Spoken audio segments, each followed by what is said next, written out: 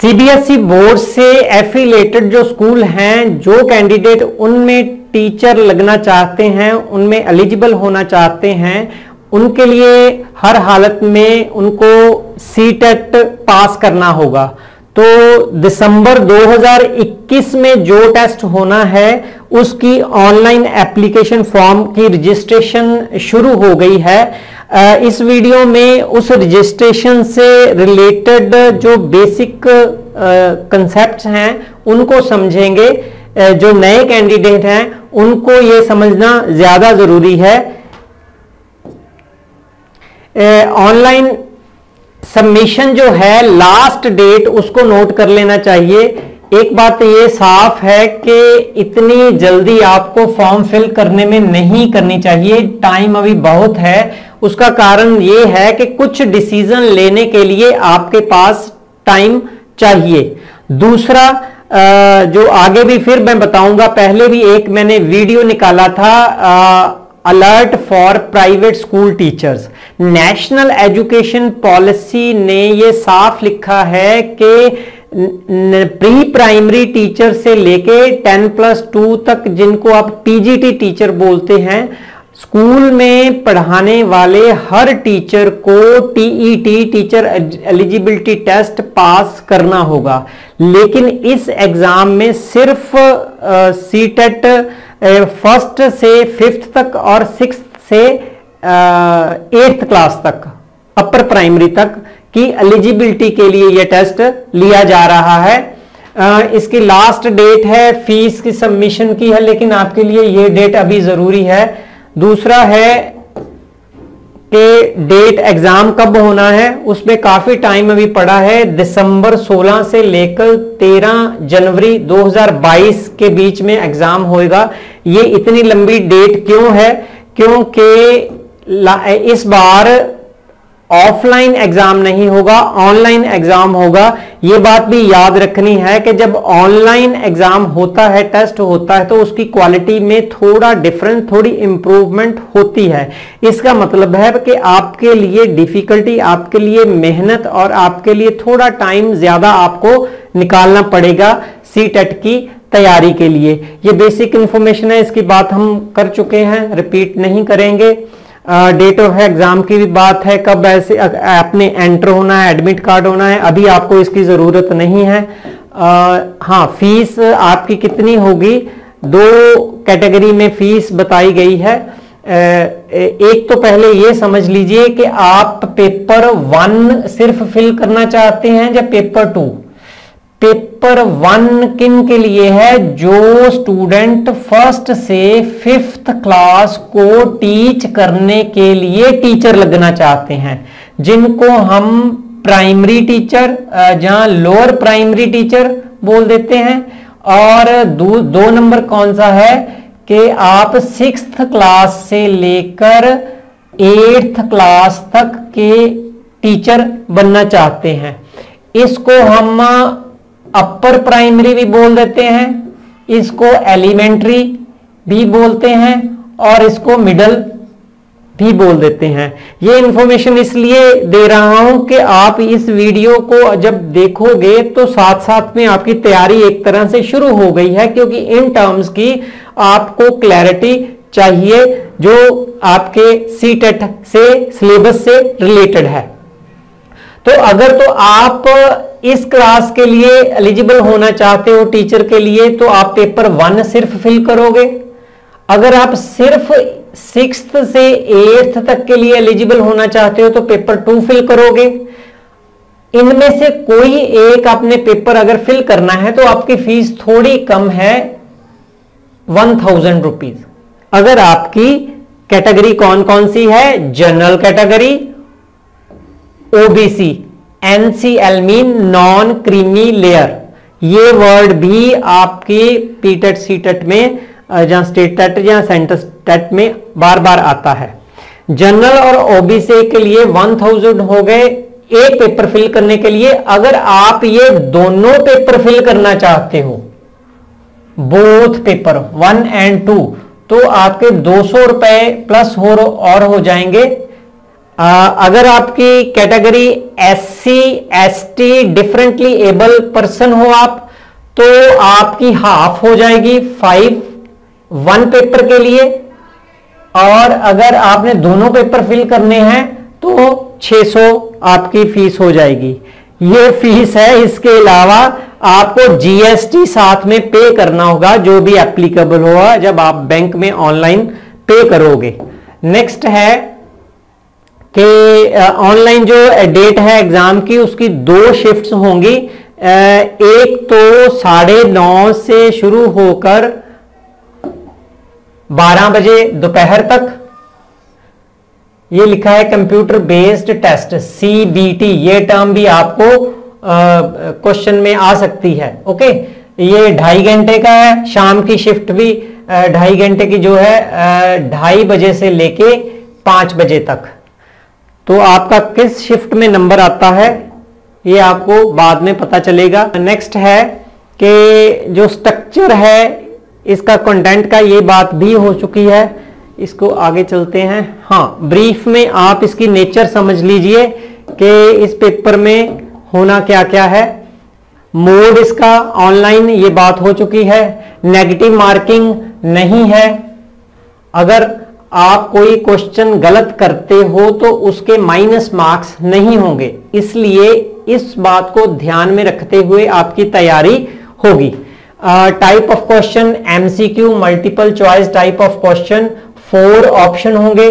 चार ऑप्शन है बेस्ट उसमें से कौन सा आंसर है वो ढूंढना है। अगर आप बेस्ट ढूंढ लेते हो तो आपको स्कोर मिलते हैं। अगर नहीं ढूंढ पाते तो आपका कोई स्कोर काटा नहीं जाएगा। अच्छा लेवल ऑफ़ क्वेश्चन ये इंपॉर्टेंट है, ये अभी मैं बात करता हूँ, इसके ये ये रहता है point pass marks general category के लिए 90 60 परसेंट जैसे कि कहा गया है ओके तो जो रिज़र्व कैटेगरी है, उसके 82 टाइम ढाई घंटे का हो चुका है टोटल मार्क्स 150 आगे बात होगी डिटेल में कैसे डिवीज़न है सिलेबस में। यह बात इंपॉर्टेंट है कि लेवल ऑफ़ क्वेश्चन ब्लूम यहाँ क्यों लिखा है। आगे जाके मैं बताऊँगा कि सिलेबस में कोई चेंज नहीं है, लेकिन नेशनल एजुकेशन पॉलिसी ने जो डायरेक्शन दी है, हर एजुकेशन लेवल में क्वालिटी को इंप्रूव करने के लिए, उनमें एक सुजेशन ये है डायरेक्शन ये है कि टेट की क्वेश्चंस की क्वालिटी को इंप्रूव किया जाए। ऐसे ही नेशनल टेस्टिंग एजेंसी को यूजीसी नेट वगैरह बाकी एग्ज़ाम जो है उनको भी इंप्रूव करने के लिए कहा है। तो इंप्रूव क्या करना है? आज तक जो टेस्ट हुए हैं आपके, उसमें ये लोअर ऑर्डर ये याद रखना है, ये lower order lower order thinking skills हैं और ये है higher order higher order thinking skills okay HOTS भी इसको बोलते हैं। इस, ये बार बार आता है टर्म यूज़ होती है ये आपको एग्ज़ाम में भी इसमें आ सकती है। अच्छा सबसे ज़्यादा ये जो लोएस्ट लेवल है रिमेंबरिंग जिसमें फैक्चुअल नॉलेज को आप मेमोराइज कर लेते हो, वो सबसे ज़्यादा क्वेश्चन आते थे। फॉर एग्ज़ाम्पल 97 परसेंट नाइनटी है ना?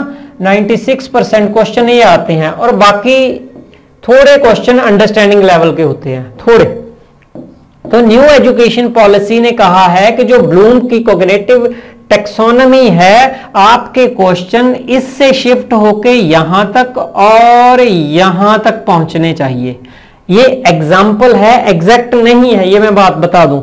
फॉर एग्ज़ाम्पल अब हायर ऑर्डर ये हायर ऑर्डर में एप्लीकेशन है। फॉर एग्ज़ाम्पल उसके ten question ten percent sorry question और अंडरस्टैंडिंग के मान लीजिए थर्टी परसेंट क्वेश्चन और मेमोरी के सिक्सटी परसेंट क्वेश्चन तो ये इनकी तैयारी के लिए आपको कंसेप्चुअल अंडरस्टैंडिंग चाहिए, जो मैं अगले वीडियो इस पर टी टी की सी टेट की कोचिंग के लिए दूँगा, उसमें इन पर मेरा ज़्यादा ज़ोर होगा क्योंकि ये मैं खुद भी चाहता था कि कंसेप्चुअल अंडरस्टैंडिंग होनी चाहिए।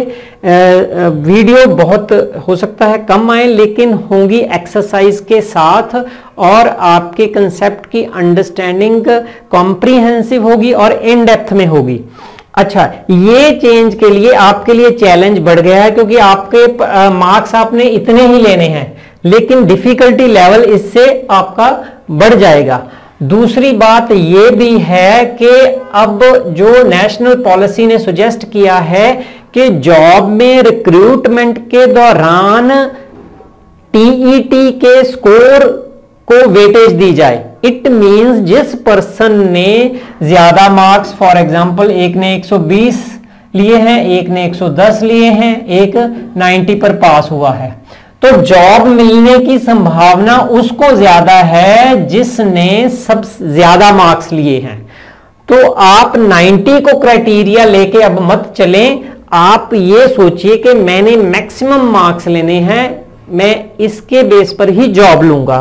तो इसके लिए आपको अभी से तैयारी शुरू करनी होगी, जो मैं जल्द ही शुरू कर रहा हूँ। ओके आप सिलेबस को अब थोड़ा समझ लें और मैं कैसे किस किस की तैयारी पक्का करवाऊँगा वो बताने लगा हूँ। और फंडामेंटल साथ साथ में और उनकी एप्लीकेशन और अंडरस्टैंडिंग पर ज़ोर दूँगा। आ, ये रहा। ओके। पहला पेपर सीडीपी का child development and pedagogy pedagogy को मैंने ये क्यों कर रखा है? क्योंकि पैडागोजी में जो फंडामेंटल्स थ्योरीज हैं प्रिंसिपल्स हैं लॉज हैं ऑफ़ टीचिंग एंड लर्निंग अगर वो आप लर्न कर लोगे तो आ, ये थर्टी की मैं तैयारी करवाऊँगा।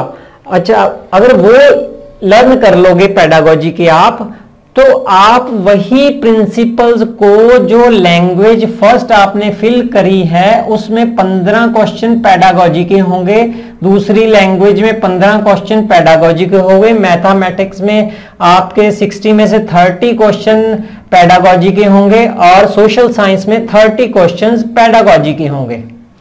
तो यही प्रिंसिपल जो होंगे वाइगोस्की की थ्योरी होगी प्याजे की होगी कोरल बल्गी होगी बिहेवियरिज्म होगा constructivism constructivism new education policy में नेशनल करिकुलम फ्रेमवर्क जो बन रहा है अभी, उसमें 100 परसेंट होगा। सोशल कंस्ट्रक्टिविज्म टॉप पर होगा। ये बात पक्की है, क्योंकि वर्ल्ड वाइड ये थ्योरी अप्रूव हो चुकी है। इनके फ़ायदे, जो टॉप पर एजुकेशन सिस्टम जिनका है, जैसे न्यूजीलैंड है जापान है फिनलैंड है, इन, इन्होंने इन इन सोशल कंस्ट्रक्टिविज्म की फिलॉसफी और साइकोलॉजी uh, के प्रिंसिपल्स को अप्लाई किया है। अगर आप इन इन पेपर में फ़र्स्ट पेपर में इन थ्योरीज और प्रिंसिपल को जो मैं आगे जाके टीच करूँगा उनको समझ लेते हो तो देखिए आपके कितने क्वेश्चन सॉल्व होते हैं। फ़र्स्ट तो ये थर्टी का पूरा करवाऊँगा। उनके साथ ही इनकी एक्सरसाइज इनकी एक्सरसाइज इनकी एक्सरसाइज 50 50 परसेंट आपके सारे पेपर जो हैं पार्ट जो हैं इसके हो जाएँगे। तो आपका 150 का ये है तो मेरे ख्याल में इस इसमें आपका काफ़ी कवर हो जाएगा। जो कंटेंट की है तैयारी वो मैं कोई कमिटमेंट नहीं करता। हाँ ये वाली मेरी मेरा शौक है कि मैं करवाऊं। नेक्स्ट अगर आपको कोई भी डाउट हो कमेंट बॉक्स में ज़रूर लिखें। आप आ, शेयर करें ये वीडियो जिसने भी P TET sorry C TET की तैयारी करनी है। कोई आपने और क्वेश्चन है वो कमेंट बॉक्स में लिखिए। अगर और इन्फॉर्मेशन क्या है आपकी कि मेन क्वेश्चन जो आपके यहाँ हिंदी और इंग्लिश में जैसे चाइल्ड डेवलपमेंट एंड पैडागोजी का था वो आ, आपको सिर्फ़ एक लैंग्वेज में नहीं होगा दोनों लैंग्वेज में सेम क्वेश्चन पूछा जाएगा। तो वो आप पॉलिसी को, जो नेशनल पॉलिसी है, जहाँ हमारी लैंग्वेज पॉलिसी है, उसको मद्देनज़र रखते हुए ये पेपर ऐसे आएगा। इसके अलावा आपका कोई भी क्वेश्चन हो, ये इन्फॉर्मेशन मेरे ख्याल में हाँ पास की बात हो चुकी है। हाँ ओके तो नेक्स्ट वीडियो साथ में ही आएगा। आपने फॉर्म फिल करना है। आप लैंग्वेज को चूज़ करोगे। लैंग्वेज को चूज़ वैसे ही हम कर लेते हैं। जो फिल अभी कर भी रहे हैं फॉर्म प्लीज़ वो वीडियो भी देख लेना। कैसे लैंग्वेज को चूज़ करना है। इन दोनों लैंग्वेज में डिफरेंस है।